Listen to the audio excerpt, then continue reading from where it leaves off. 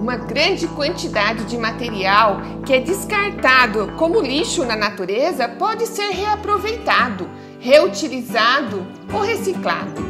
O isopor pode ser triturado e transformado em arte para decorar o seu jardim ou sua casa. Eu sou Maria Amélia Mendes. Seja bem-vinda a mais um vídeo no canal.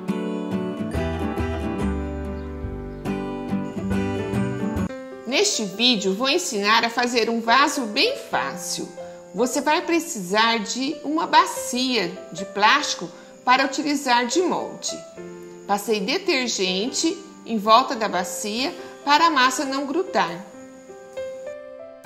Para fazer a massa, utilizei uma medida de cimento, uma medida de argamassa AC2 e duas medidas de isopor triturado. Misturei os ingredientes secos.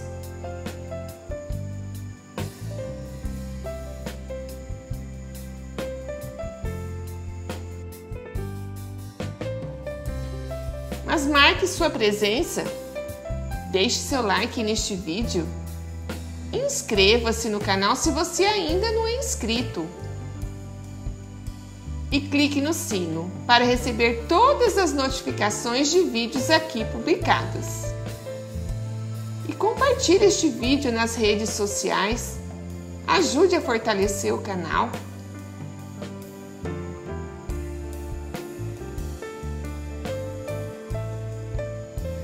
Se você quer saber como triturar isopor, clique no cartão aí acima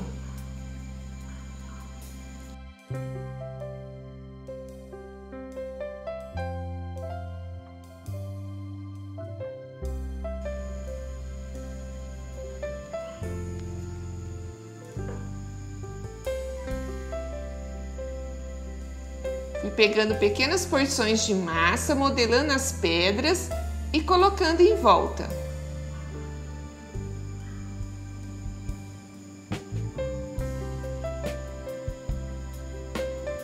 Você pode modelar pedras menores também se desejar.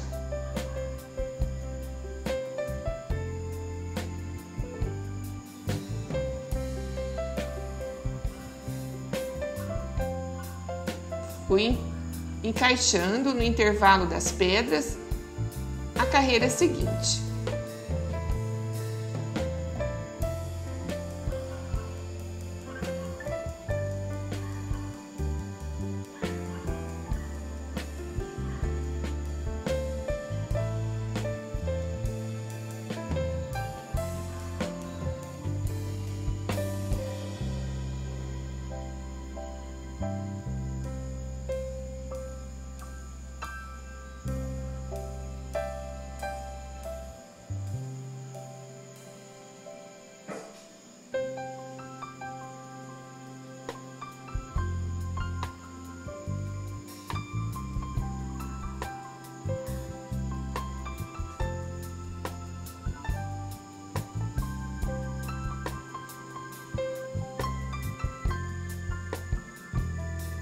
E preenchi com massa toda essa parte que será a base do vaso.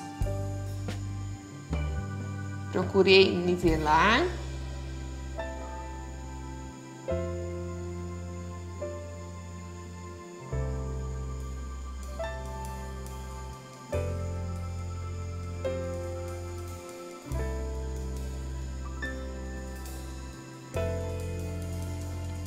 E já fiz os buracos para drenagem de água.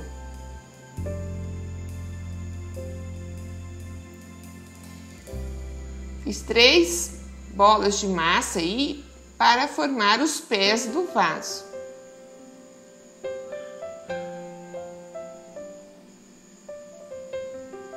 Coloquei uma sacola plástica e um piso de cerâmica e procurei nivelar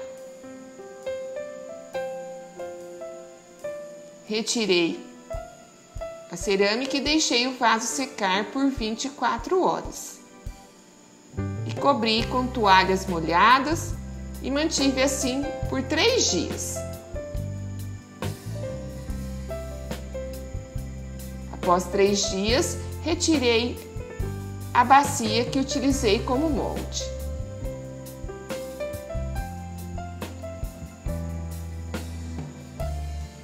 Veja como ficou a parte interna. Preparei então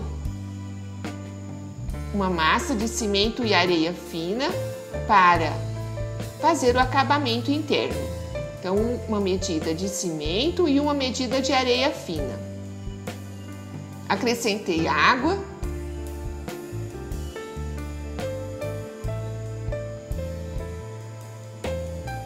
E fiz uma massa mole para passar no interior do vaso.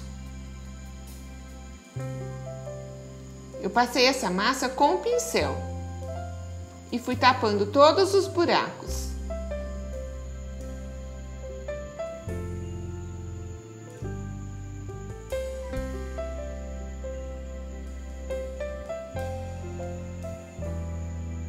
Veja como já vai ficando um acabamento perfeito.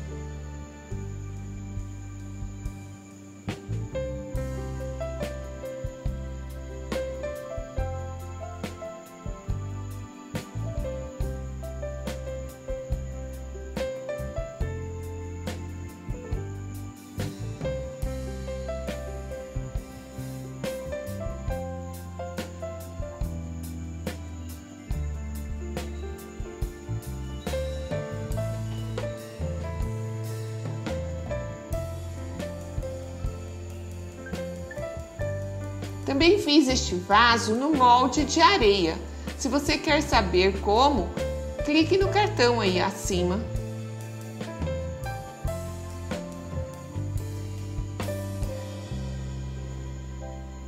Com essa mesma massa, corrigi os vincos deixados pela bacia, aí nessa parte superior do vaso. Fui dando batidinhas com massa para mantê-lo né, crespo, mas retirar as marcações.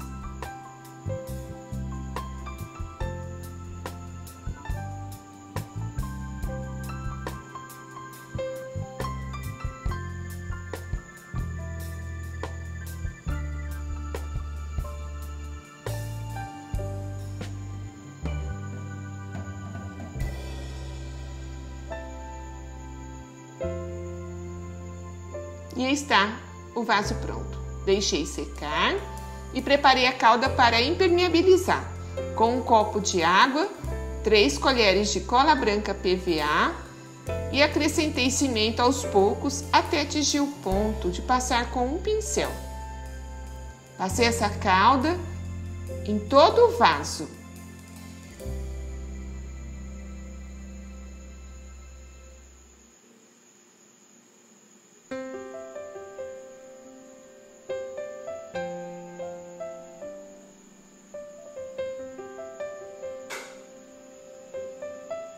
Com o restante da calda, preparei para fazer os contornos. Coloquei pigmento preto e verde até atingir a cor desejada, um tom de verde bem escuro. E aí então fiz o contorno das pedras. Também passei nessa base do vaso, nos pés, né? E no fundo aí.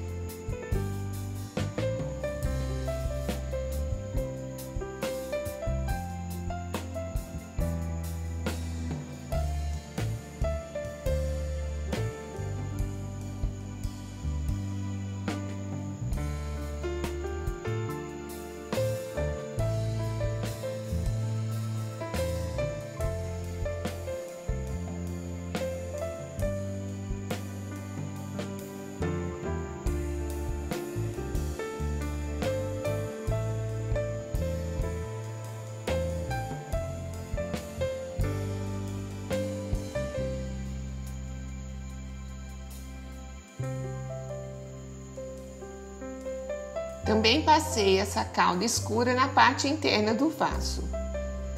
Com a tinta PVA nas cores verde musgo, marrom e amarelo ocre, pintei os detalhes das pedras. Com o pincel levemente sujo de tinta, fui passando de forma aleatória em todas as pedras.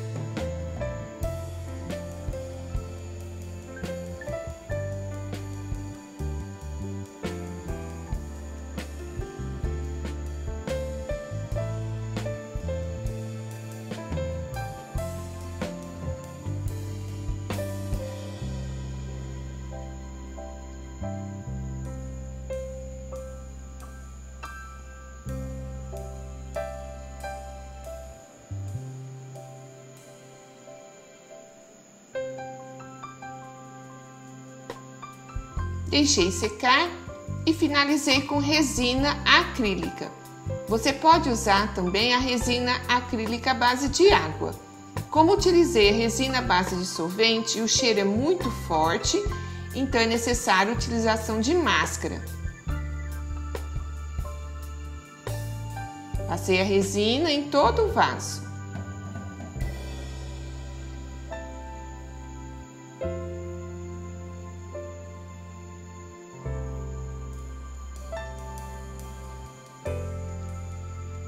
Essa resina à base de solvente escurece o vaso, mas fica muito bonito também.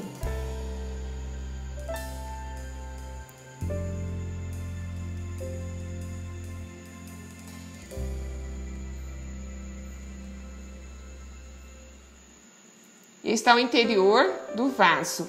Ficou um acabamento perfeito. E ficou um, um vaso leve.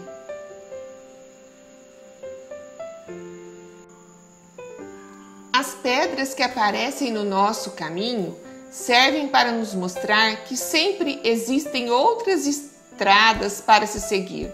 O importante é sempre continuar em frente.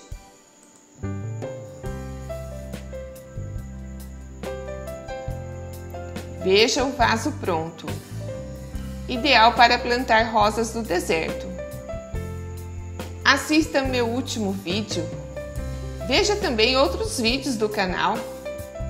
Compartilhe este vídeo nas redes sociais e ajude a fortalecer o canal. Muito obrigada por assistir até o final.